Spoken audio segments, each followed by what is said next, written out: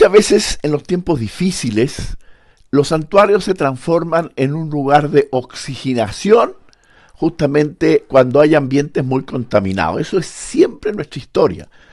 Lo es en Guadalupe, lo es la imagen de la Virgen de la Caridad del Cobre en, en Cuba, lo es la imagen de la Virgen del Carmen aquí en Chile y en fin en cada uno de nuestros países. Pero hoy estos santuarios la mayoría están cerrados y hay una táctica maravillosa de Dios que es que ya que estos grandes santuarios que oxigenan están cerrados, bueno, la Virgen junto al Señor Jesús quieren que nuestros hogares estén abiertos y allí sea el tiempo para poder fortalecernos. Yo te a algo parecido a lo que tenemos aquí. Que en tu casa tengas un lugar sagrado, una imagen de la Virgen y del Señor, tenga la Sagrada Escritura, etc.